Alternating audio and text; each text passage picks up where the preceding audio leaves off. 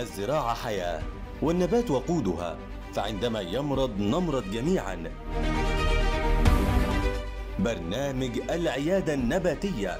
برنامج علمي بيقدم لكم أحدث ما توصل له العلم في علاج كل ما يعيق الإنتاج النباتي.